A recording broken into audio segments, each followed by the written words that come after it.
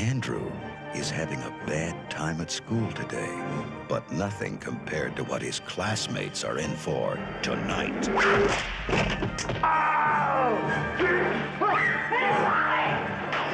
road to hell is paved with Andrew's victims. Fear no evil. It'll scare the devil out of you. Rated R.